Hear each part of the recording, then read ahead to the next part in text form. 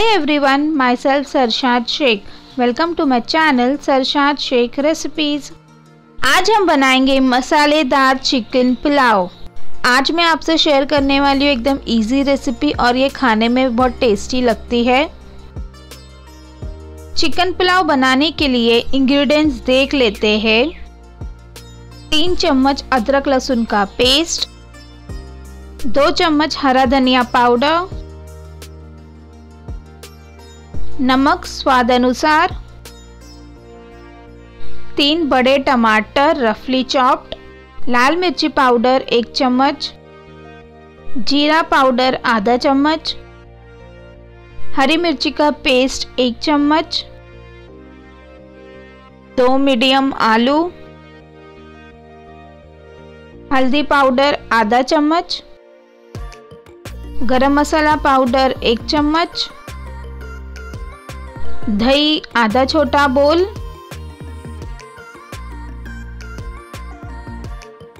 पुदीना, हरा धनिया।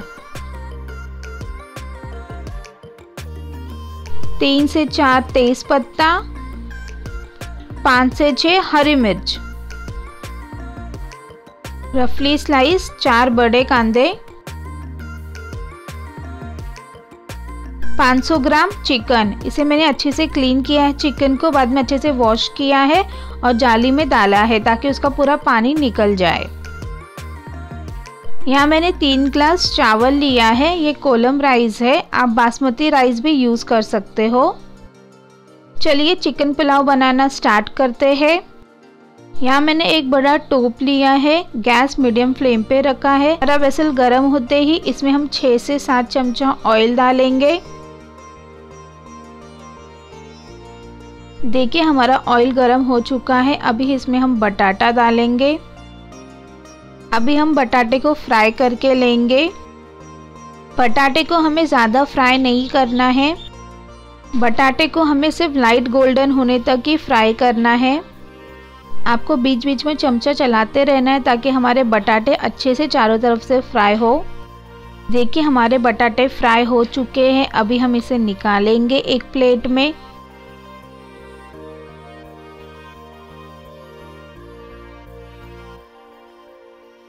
अभी हम इसमें प्याज डालेंगे। इसे हम अच्छे से मिक्स करके लेंगे। अभी हम इसमें नमक डालेंगे। इसे अच्छे से मिक्स करके लेंगे। नमक डालने से हमारे प्याज जल्दी फ्राई हो जाएँगे।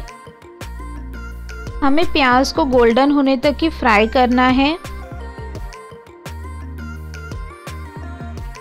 आपको बीच बीच में चमचा चलाते रहना है ताकि हमारे प्याज अच्छे से फ्राई हो। देखिए, यहाँ पर हमारे प्याज फ्राई हो चुके हैं। अभी हम इसमें टमाटर डालेंगे और हरी मिर्ची डालेंगे स्लिट करके।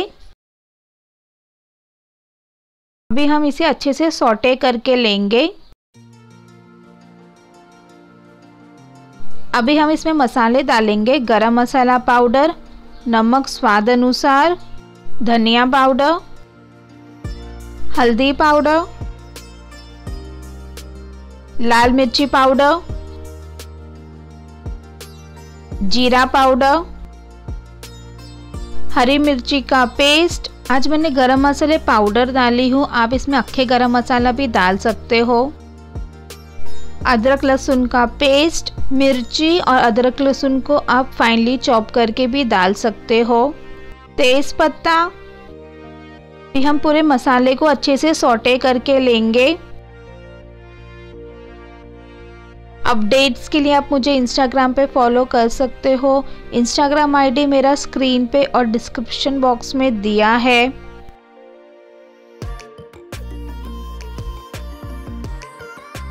यहाँ मैंने पाँच ग्लास पानी बॉईल करने के लिए रखा है। मसाले की गैस का फ्लेम स्लो करेंगे, इसमें हरा धनिया, पुदीना चॉप करके डालेंगे। अभी दही डालेंगे और इसे अच्छे से सोटे करके लेंगे। पुलाव में जब भी दही यूज़ करो तो गैस का फ्लेम स्लो करें और फिर उसमें दही डालें।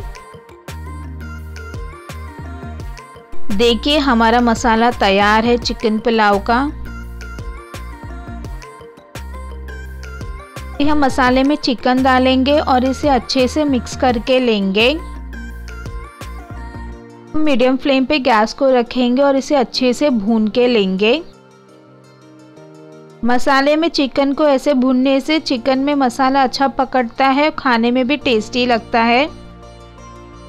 आप मेरे चैनल पे नए हैं तो चैनल को सब्सक्राइब करें, साथ में बेल बटन प्रेस करें, जिससे आपको मेरे न्यू वीडियो की नोटिफिकेशन मिलती रहेगी।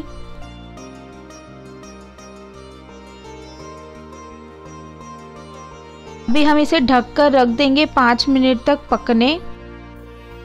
पाँच मिनट हो चुके हैं, अभी हम इसमें आलू डालेंगे जो हमने फ्राई करके रखे थे और इसे अच्छे से मिक्स करके लेंगे। देखिए, हमारे पुलाव का मसाला रेडी है। इसमें हम गर्म पानी डालेंगे जो हमने बॉईल करके लिया है वो। अभी हम इसे अच्छे से मिक्स करेंगे।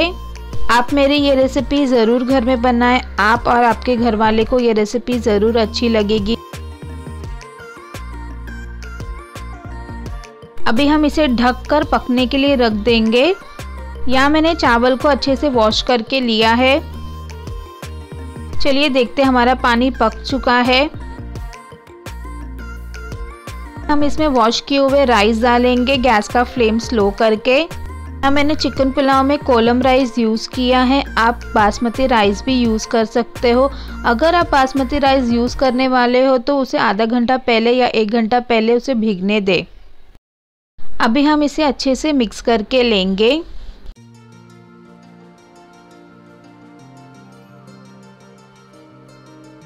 अभी हम इसे ढककर पाँच मिनट तक पकाएँगे हाई फ्लेम पे। पाँच मिनट हो चुका है, इसे चेक करेंगे। देखिए, हमारा पानी मोस्टली सूख चुका है। अभी गैस को हम स्लो करेंगे और इसे अच्छे से मिक्स करके लेंगे एक टाइम चिकन पुलाव बनाना बहुत इजी है और ये खाने में भी बहुत टेस्टी लगता है। हम इसे दम पे रख देंगे। आपके पास जो भी कॉटन का कपड़ा होगा, वो ऐसे डाल देना। इसके ऊपर हम ढक्कन डालेंगे और इसको दम के लिए रख देंगे। पर मैंने दम के लिए पुलाव रखी हूँ, नीचे तवा है, उसके ऊपर हमारा वेसल है। अभी हम इसे पाँच मिनट तक मीडियम फ्लेम पे पकने देंगे। पाँच मिनट हो चुका है, अभी हम इसे चेक कर लेते हैं। देखिए, हमारा राइस पक चुका है, अभी हम इसे सर्व करेंगे। आप चिकन पुलाव को सैलेड के साथ या कोशिम्बिर के साथ सर्व कर सकते हो। आपको ये रेसिपी अच्छी लगी तो इस वीडियो को लाइक करें, कमेंट करके बताएँ आपको ये रेसिपी कैसी लगी। अपने फ्रेंड्स एंड फैमिली मेंबर्स के साथ शेयर करें। फिर मिलते हैं एक नई रेसिपी के साथ। Thank you for watching